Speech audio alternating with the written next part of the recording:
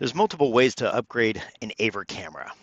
Now, I'm going to show you a method using the PTZ app and upgrading it over the USB connectivity on it.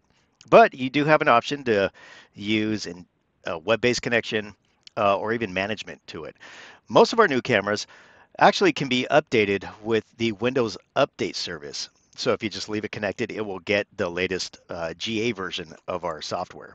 But let's just say that you um, are participating in our beta program, or you have an older rev that you want to back rev to.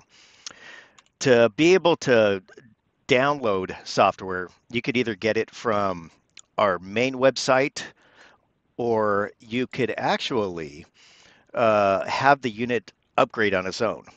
So when looking at the PTZ app, which is probably the easiest way to do it, you could always get information on an individual camera. Now, right now, I have software for a Cam 520 Pro 2, something that engineering gave me. I got to test it out.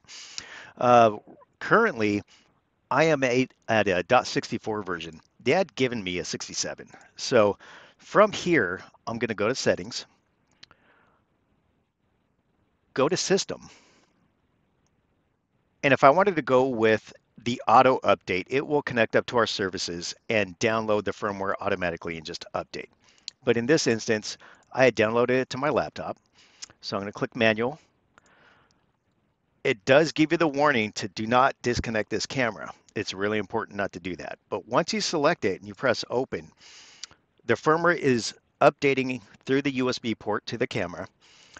It's going to go through its cycles and update all the uh, the uh, chipsets that are in there. So that's why it's really important not to uh, unplug the uh, the power on this camera. Now, if you do and you unplug the power accidentally, really important just to let it boot up completely, unplug it again, plug it in again, let it refresh, and then try again. So once this is done, the uh, software will be updated and you're good to go.